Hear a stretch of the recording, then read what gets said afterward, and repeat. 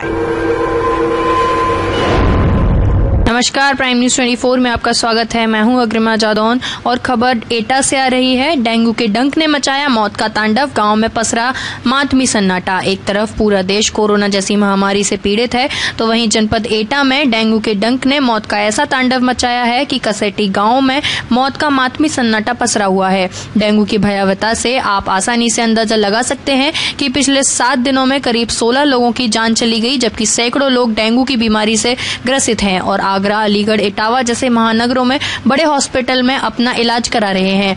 बात यहीं खत्म नहीं हो जाती। पूरे गाँव में डेंगू की इतनी दहशत बढ़ गई है कि गाँव से करीब एक दर्जन परिवार गाँव से पलायन कर गया है। कसेटी गाँव की गलियों में मातमी सन्नाटा छाया हुआ है। इस गाँव के हर घर से कोई न कोई डेंगू से पीड़ित है।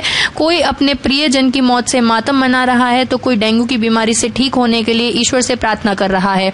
ग्रामीणों में इस बात के लिए भी आक्रोश है। स्वास्थ्य विभाग सिर्फ़ औपचारिकता भर कर रहा है। इस भयावता में भी स्वास्थ्य विभाग की टीम ने गाँव में कोई कैंप नहीं किया। सिर्फ़ दवा के नाम पर कुछ गोलियाँ बांटकर अपने कर्तव्य की इतिश्री कर ली है। जिला प्रशासन के इस बेरुखी से आहट ग्रामीणों ने जिला प्रशासन से मदद की गुहार लगाई है। ग्रामीणों ने जिला प्रशासन से गुहार लगाते हुए कहा है कि सरकार, अब तो हमारी जान बचा लो। हालाँकि स्वास्थ्य विभाग की मलेरिया अधिकारी का कहना है कि डेंगू की बीमारी के फैलने के बाद स्वास्थ्य विभाग की टीम लगातार इस गाँव का दौरा कर रही है और हमने गाँव के लोगों के टेस्ट भी किए हैं और दवाएँ भी स्वास्थ्य विभाग बांट रहा है। हालाँकि डेंगू से घबराकर गाँव के लोग प्राइवेट हॉस्पिटल में अपना रुख कर रहे हैं, लेकिन स्वास्थ्य विभाग की टीम अपना काम कर रही है। लेकिन स्वास्थ्य विभाग के इस दावे से इधर गाँव की हालात पर नज़र डाली जाए तो यहाँ पर दूसरे घर में मौत का मातम छाया हुआ है। किसी के घर में बुज़ुर्ग की मौत हुई है तो किसी के घर जवान बेटे बेटी की मौत हुई है। गाँव के एक दो घर में तो हालात इतने भयावक हैं कि घर में तीन तीन सदस्यों की डेंगू में मौत हो चुकी है।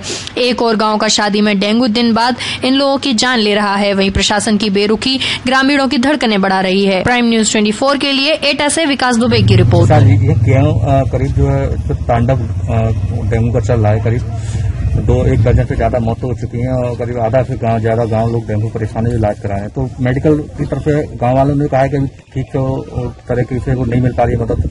आप क्या कहना चाह रहे हैं मदद के लिए तो यहाँ कम से कम आठ दस दिन से डेली टीम आ रही है हमारी। यहाँ ओपीडी भी हो रही है दवा दी जा रही है। डेंगू और मलेरिया की जांचें भी हो रही हैं किट से भी और स्लैट से भी।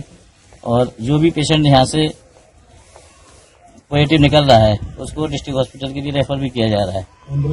एंबुलेंस की सुविधा यहीं की जाती है यहाँ पेशेंट हमारा पॉजिटिव है जिस गाँव में। तो उसके लिए एंबुलेंस यहाँ से आके उसको डिस्ट्रिक्ट हॉस्पिटल तक रेफर हम कर देते हैं तो वहाँ एडमिट करा के उसका ट्रीटमेंट वहीं हो जाता है। स्वास्थ्य विभाग की तरफ़ डेंगू की रोकथाम के लिए क्या प्रया- प्रयास किया आपने? देखिए डेंगू की रोकथाम के लिए पहले से तो कोई प्रयास नहीं किया जा सकता है। वो तो पब्लिक या नगर पालिका या जैसे भी हम और आप हैं तो जैसे गंदगी है या पानी रुका हुआ है कूलर का पानी है जैसे उसमें लार्वा हो जाता है डेंगू का। और आपका जैसे फ्रिज की क्रेट नीचे ट्रे होती है उसमें भी लार्वा पाया जाता जाता है। इन चीज़ों का समाधान स्वास्थ्य विभाग तो नहीं करेगा। तो इन चीज़ों के लिए तो हमें या आपको या पब्लिक जो भी हैं उनको भी थोड़ा सा जागरूक होना पड़ेगा। और किसी भी चीज़ की देखिए पहले से तो नहीं पता होती कि ये चीज़ होने जा गाँव रही है लेकिन इस गाँव को जिस तरह डेंगू ने निशाना बनाया क्या कारण मानते हैं नहीं ये गाँव नहीं और भी जगह है। ये गाँव ही नहीं है और भी जगह है। इस समय तो ये सीज़न होता है मलेरिया का डेंगू का। इस समय तो ये चीज़ें आती हैं। डेंगू की वजह से कई लोगों ने निशाना नहीं है किसी गाँव में है। कई लोगों ने पलायन भी कर लिया है बताया जा रहा है गाँव से। पलायन की तो नहीं पता है वो रेफर वो बात अलग है कि कोई अपना अगर रेफर नहीं होना चाह रहा है डिस्ट्रिक्ट हॉस्पिटल में इलाज नहीं कराना चाह रहा है अपने मन से तो वो कहीं बाहर करा रहा है आगरा जा रहा है दिल्ली जा रहा है। ठीक। जनक सिंह जी इस गाँव में बीमारी चल रही है तो कितने लोग बीमार हैं आपके गाँव के लोग तो बहुत ही ज़्यादा बीमार हैं आधो गाँव बीमार है और डेंगू से ही सब परेशान हैं।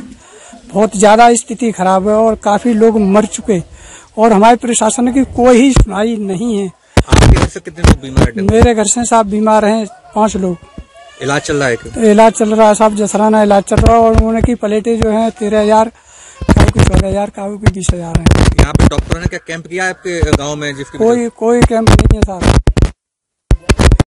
वीरपाल जी बीरपाल जी। बीरबल दिन यहाँ पे बीमारी डेंगू की फैली है। आपके घर से कितने लोग हैं जो गुजर गए? दो घर दो लोग गुजर गए हमारे घर से। कौन कौन था?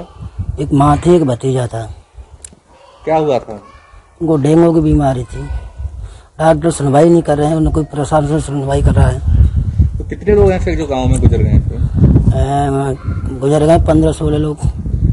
कुछ गाँव भी छोड़ के भाग रहे हैं। कुछ पानी परिवार हैं? परिवार हैं चार दस पाँच परिवार हैं गाँव छोड़ के भाग रहे हैं। और थोड़ी पानी की प्रॉब्लम है चेक नहीं कर पा रहे हैं पानी। का क्या डॉक्टरों की टीम आई थी यहाँ पे? आई थी मगर उनसे कोई कंट्रोल नहीं हो पा रहा है मामला। कैंप नहीं किया वहाँ की टीम ने? कैंप नहीं किया मगर वैसे ही आए थे थोड़ा दवाई गोली दे गए।